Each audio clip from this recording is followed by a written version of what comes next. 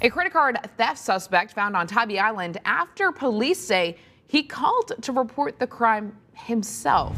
Investigators say Joshua Dailey told officers that he found several cards in a trash can outside of a business. Police say someone used those cards at a bar, and employees at that bar reported the person making those purchases was Dailey. Investigators also said a plumber found the missing wallet stuck in the toilet of the bar.